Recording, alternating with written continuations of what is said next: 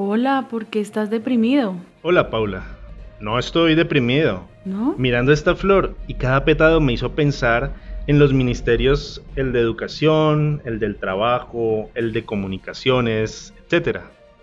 Pensaba en ellos y a propósito, sabes que hace poco fue la primera emisión de Notiseñales. Sí. Generó un gran impacto. Esta flor además me evocó a Diego López. Diego López, líder comunidad sorda.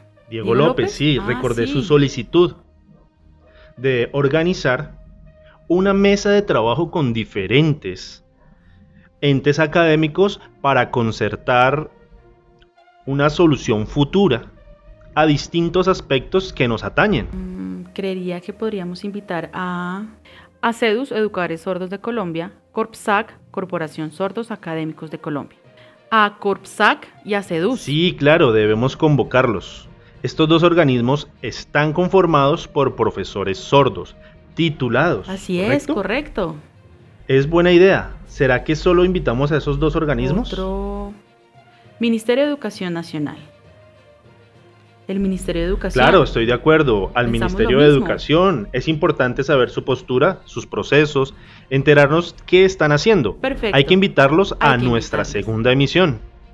Viernes 25 de febrero, 7 pm.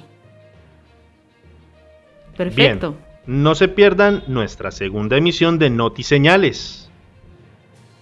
Así es. ¡Qué ansias! Nos vemos. Chao.